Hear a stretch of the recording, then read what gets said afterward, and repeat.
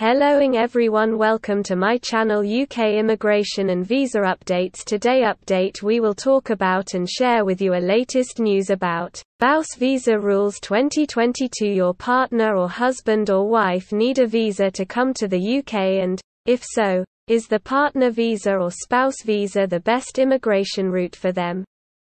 Many people are blinkered into thinking that as their spouse or partner wants to join them in the UK, they must need a family visa but there may be better immigration options such as a skilled worker visa or innovator visa or global talent visa.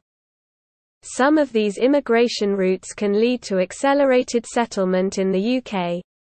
Also, if your relationship were to break down, your partner or spouse won't have to leave the UK if their visa status isn't dependent on the continuation of a personal relationship. Whilst that sort of discussion may sound unromantic, whether you are the sponsoring partner of a family visa applicant or the person applying for the spouse visa, it is worthwhile checking your UK visa options.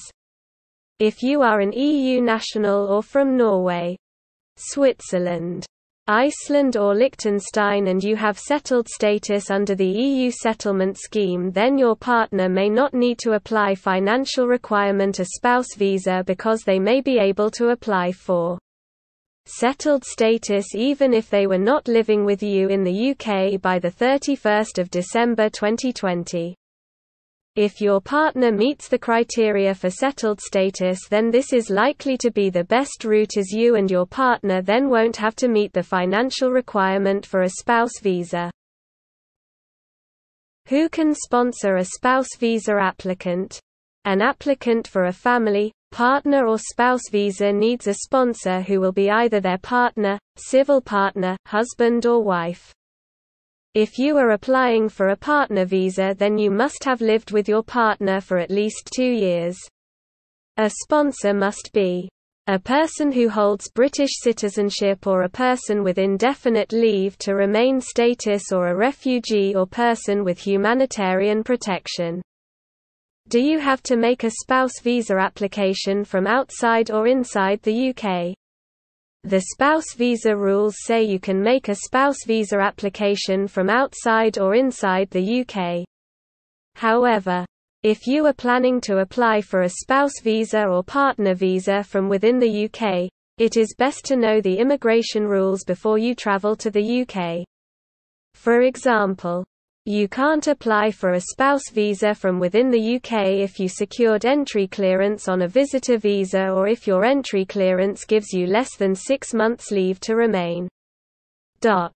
If you get the immigration rules wrong then you may need to leave the UK and make your spouse visa application from overseas so it is as well to check before you make plans to come to the UK with the intention of applying for a spouse visa while you are in the UK.